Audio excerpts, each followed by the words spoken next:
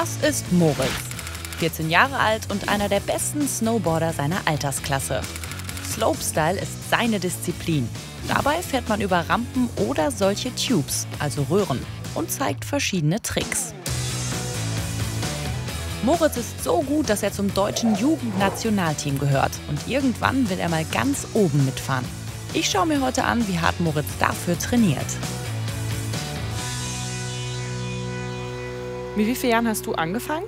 Mit sieben. Ich bin erst ziemlich viel Ski gefahren und dann war ich immer bei meiner Oma und da war halt ein großer Funpark und da waren halt auch immer sau viel Snowboarder und ich fand, es sah voll cool aus, wie die über die Schanzen gesprungen sind und Tricks gemacht haben und dann wollte ich bloß noch Snowboard fahren. Was ist für dich das Beste am Snowboarden? Dass man immer mit Freunden unterwegs ist, neue Leute kennenlernt, es unendlich viele Tricks gibt. Das Gefühl, wenn man einen neuen Trick einen krassen Trick landet. Gibt es da noch irgendwas, was du unbedingt erreichen willst? So mein Contest-Ziel wäre schon, mal bei Olympia mitzufahren.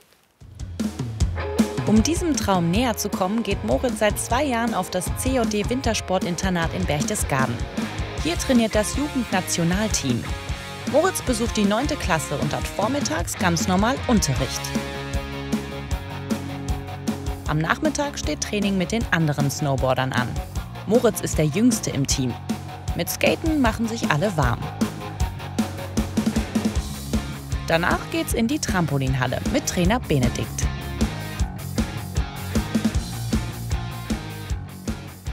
Also, äh, normales Trampolintraining heute.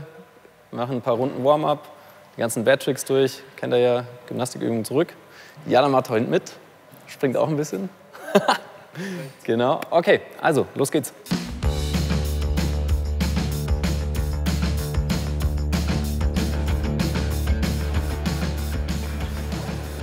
Moritz, wieso trainierst du denn eigentlich auf dem Trampolin? Damit einem die Tricks am Schnee auf dem Snowboard dann leichter fallen.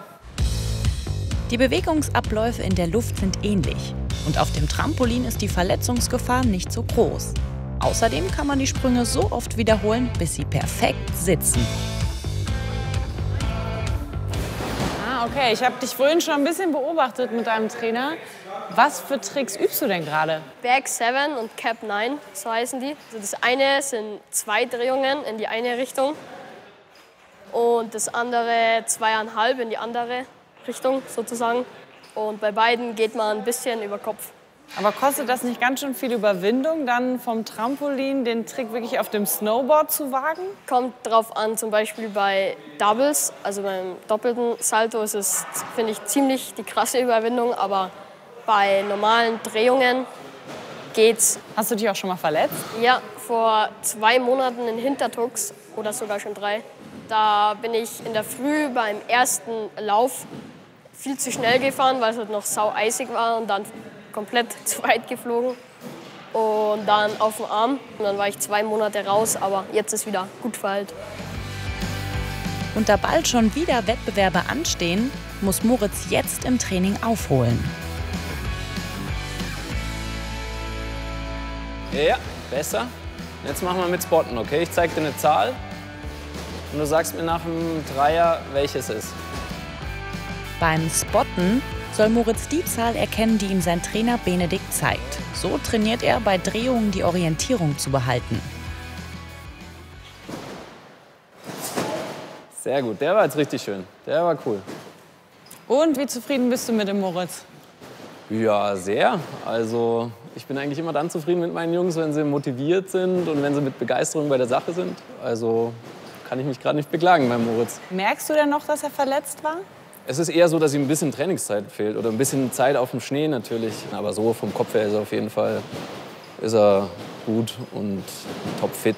Also der ist ein alter Skater, der weiß auch, wie man fliegt und das passt schon. Was würdest du denn sagen, ist Moritz größte Stärke?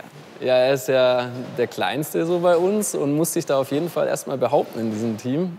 Ähm, das ist sicher nicht ganz einfach und da habe ich echt Respekt davor, dass er als Kleinster da so trotzdem mit den Großen auch mithalten kann und da die Stärke hat und sagt, so, ich lasse mich nicht unterkriegen, ich bin da trotzdem voll mit dabei. Wenn Moritz so weitermacht, hat er gute Chancen auf eine Profikarriere. Dafür nimmt er in Kauf, dass seine Trainingstage lang und anstrengend sind. Aber sein Wohnheim ist zum Glück nicht weit entfernt von der Sporthalle. Das ist mein Zimmer. Wirklich viel Zeit verbringt Moritz nicht auf seinem Zimmer. Er trainiert hart und ist oft auf Wettbewerben. Was würdest du denn sagen, war bis jetzt so dein größter Erfolg? Mm, ja, die deutsche Meisterschaft habe ich schon zweimal gewonnen. Also deutscher Meister klingt schon ziemlich gut. Ja, Wenn wichtige Wettkämpfe sind, dann werdet ihr schon freigestellt. wir werden eigentlich ziemlich oft freigestellt. Freitag, Samstag, Sonntag gehen wir dann meistens Snowboarden. Also Freitag sind wir nicht so oft da. Das ist cool. Ja, voll. Wie kriegst du denn Schule und Sport beides unter einen Hut? Ich probiere halt so wenig wie möglich zu versäumen und abends gehe ich normalerweise immer noch eine Stunde in die Lernzeit und da macht man seine Hausaufgaben, lernt. Ja, sind auch welche aus meiner Klasse. Kann man sich ein bisschen erklären gegenseitig. Jetzt machst du ja ganz schön viel Sport und bist viel im Internat. Wie oft siehst du denn deine Familie? Ja, ich komme so ungefähr jedes zweite Wochenende heim und auch die ganzen Ferien. Also ich finde, dass ich ungefähr Hälfte hier wohne, die andere Hälfte daheim. Also so fühlt sich's an. Hat man da auch manchmal ein bisschen Heimweh? Doch schon. Zum Beispiel, wenn man mh, allein im Zimmer ist, dann das Training vielleicht auch mal noch nicht so gut lief. Und weil es ja morgen früh relativ zügig wieder zum Snowboarden geht, lasse ich dich jetzt noch mal eine Runde Hausaufgaben machen und wir zwei Ja. sehen uns morgen, okay? Ja. Schlaf gut und bis morgen. Am nächsten Morgen geht's ab auf die Piste. Eine knappe Stunde entfernt vom Internat liegt Flachau-Winkeln, ein großes Skigebiet in Österreich. Hier trainiert das Jugendnationalteam regelmäßig an den Wochenenden. Heute ist das letzte Training, bevor Moritz zu einem Wettkampf nach Italien fährt. Und Moritz, wie fühlst du dich denn heute? Ja, gut. Ja? Ja. Was hast du dir vorgenommen? Eigentlich Back 7 und Cap 9. Also meine Tricks für Livigno nächste Woche. Aber jetzt ist das Wetter heute nicht so gut, also denke ich, dass es eher nichts wird. Was heißt denn, das Wetter ist nicht so gut? Es schneit ja. Ja, es hat aber schon die ganze Nacht geschneit, also es ist mega viel Schnee im Park. Das heißt, man ist sau langsam und die Sicht ist auch nicht so gut. Also, ja. Das heißt, du weißt jetzt nicht, ob du die beiden Tricks heute machen kannst? Ja, ich denke eher nicht, außer es reißt noch auf. Was ist denn, wenn du die beiden Tricks heute nicht mehr üben kannst? Versuchst du die dann trotzdem nächste Woche beim Wettkampf? Ja, ich denke auf jeden Fall. Ich habe die ja letzte Saison schon mal gemacht und den einen davon diese Saison auch schon. Ich drücke die Daumen, dass du zumindest den Back Seven heute machen Ja, kannst.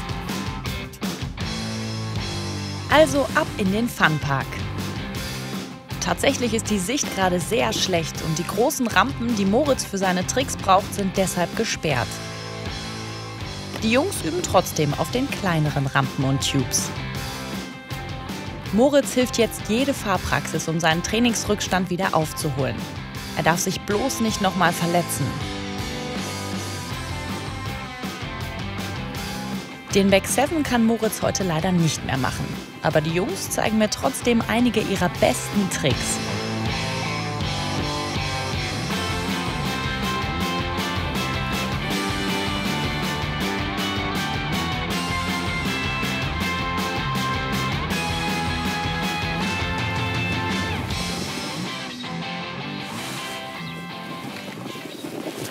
Ah, mit dem Sprung hat es heute wegen des Wetters nicht hingehauen, ne? ja, nicht so schlimm. Aber du hast gesagt, Spaß im Schnee ist vor dem Wettkampf genauso wichtig. Ja, auf jeden Fall. Und das sah gerade nach Spaß aus.